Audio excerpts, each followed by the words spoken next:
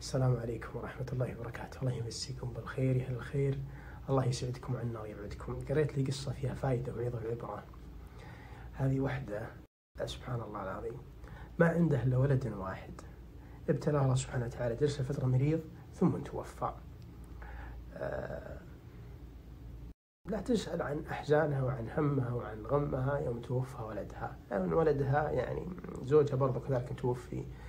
هو اللي مالي عليها البيت هو اللي يرد عليها الصوت. كيف تتوقع البيت بيكون؟ آه، لها في كل زاوية في البيت معه ذكريات ومواقف طلعاتها دخلاتها جلستها وياه في السفرة. فقدت كل هذا. راحت عند أحد الحكماء فسألته فقالت له أنا مستعدة أضحي بالغالي والنفيس بس يرجع لي ولدي. طبعا أحيانا بعض الناس يصير محزون يصير تجيه أفكار تجيه أفكار مستحيلة. أفكار ما لها حل عشان بس يعني يحل مشكلته.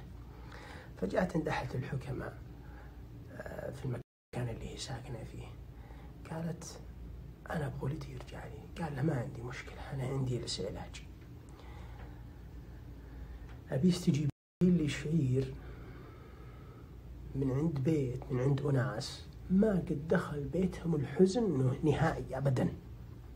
جيبيه لي وأنا إذا جبتي لي أبطحن وبسوي في طريقة يرجع لس ولدس قالت تم.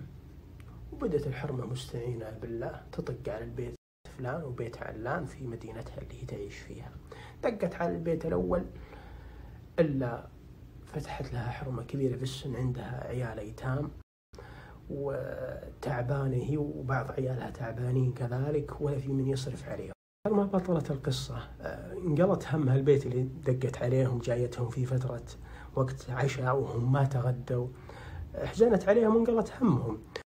قالت أنا وعدت إني أكلم أهل الخير وأهل الصلاح إنهم يعطونك وإنهم يعني ينفقون عليك لكن خذي هالمبلغ البسيط مشي حالك فيه. وعدتها تزورها. مرة ثانية. طلعت من عندها دقت باب ثاني فتحت لها بنية صغيرة قالت لها نادي لي أمك. قالت أمي وأبوي توفى ورقوا بالسيل وأخوي اللي كان يعني يبي يحاول إنه ينقذهم توفى معهم ما في إلا أنا عايشة آه، في هالبيت بين أربع جدران. رحمتها وضاق صدرها ودرت انها يعني فقدت الكثير وعدتها إنها تأخذها معها تعيش معها. لكن قالت خليني الحين وبجيك إن شاء الله بإذن الله عقب كم يوم. وفعلا سبحان الله العظيم طلعت من عندها وراحت دقت باب ثاني. دقت باب ثاني سألتهم وين أمكم؟ طلعت الأم هل عندكم شعير؟ قالت نعم لكن قبل ما أخذ منكم الشعير هل مر بكم حزن أو شيء؟ فشكت لها الحال أنا هذا زوجي طايح وعيالي ما ما يقدر يصرف عليهم. آه، من في أحزن من بيتي.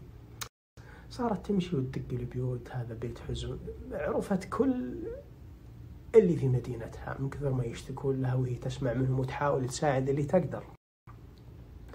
آه، نهاية المطاف آه، شافت قدامها وعاينت قدامها إن هذا البيت أكبر منها مصيبة، إن هذا البيت ما زالت المصيبة قائمة، إن هذا البيت معدوم مثل البنت الطفلة الصغيرة.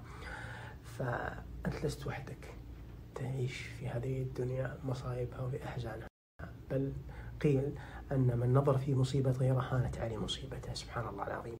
من الحاجات اللي تخفف أحيانا حزنك إنك تنظر في مصايب غيرك في أحزان غيرك فتحاول تساعد تحاول تصبر تحاول إنك آه، تعين أخيك المسلم آه، لأن سبحان الله العظيم تصير أنت مثل هالمراه يعني هذه آه، انشغلت بهم غيرها عن همها فعاشت أنها إذا أسعدت غيرها بتسعد هي.